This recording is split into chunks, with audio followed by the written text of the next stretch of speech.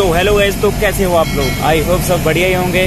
तो भाई, आज हम बात करेंगे कि एसी को आप पंप डाउन कैसे करें? अगर आपने इसको अनइंस्टॉल करना है तो। सो so, ये रही हमारी जो छोटी लाइन है डिस्चार्ज पाइप जिसको आप सो so, इसे अगर आप क्लॉक वाइज घुमाओगे तो ये पंप डाउन यानी कि ये आपका जो एलकी सेट है, यहाँ पे इस नट को खोल के आपको यहाँ पे एलकी का एक नट दिखेगा। और अगर आप इसे क्लॉक वाइज घुमाओगे, जैसे घड़ी घूमती है अगर वैसे घुमाओगे तो ये बंद होगा। और अगर आप इसे एंटी क्लॉक वाइज घुमाओगे तो ये ओपन होगा।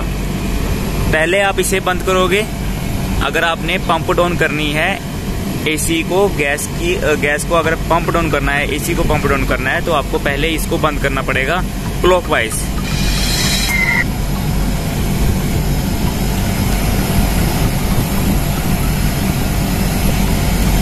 इसको बंद करना पड़ेगा आपको क्लॉकवाइज तो पहले ये बंद कर दो, उसके बाद आप अपनी गेज भी लगा सकते हो यहाँ पे। गेज लगा के अगर आपकी गेज बिल्कुल वैक्यूम में चली गई तो आपको पता लग जाएगा कि हमारा जो एसी है वो पंप डाउन हो चुका है, क्योंकि गेज बिल्कुल ही वैक्यूम में चली जाएगी।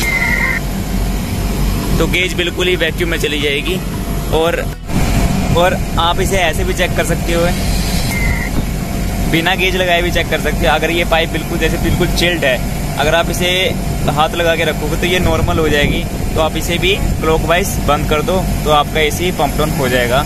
और एसी को साथ के साथ जैसे इसे बंद कर दोगे, उसी टाइम एसी को भी शट डाउन कर दो। तो thank you for watching I hope आपको मेरी वीडियो अच्छी लगी तो मेरे को बताओ यार नेक्स्ट वीडियो मैं किस चीज़ की बनाऊँ।